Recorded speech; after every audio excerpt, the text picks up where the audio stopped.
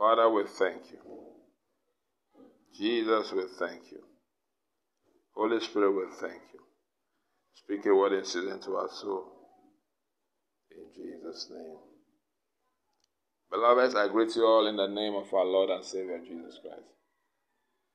Still under the umbrella of Premier School of the Prophet. Today in our teaching, we are looking at spiritual growth. Spiritual growth. Now listen.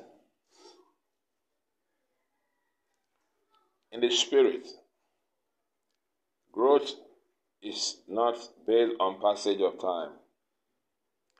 In the natural, growth might be based on that, but not in the spiritual.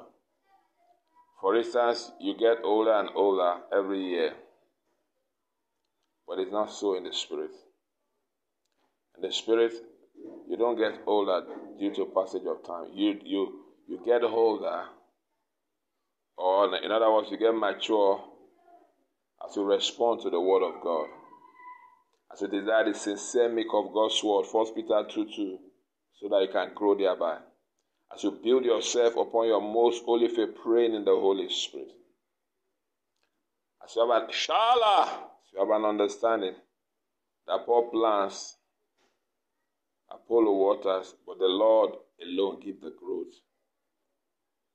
can only grow with every growth that coming from God.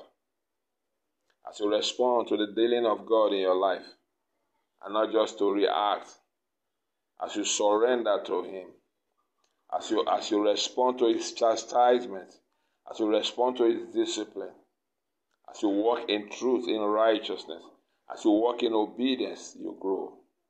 As you eat the Word of God, as you read, study, meditate on God's Word, as you pray in the Spirit, as you live in obedience, as you respond to God and surrender to God, you grow spiritually. I pray this year you will grow like never before. In the name of Jesus.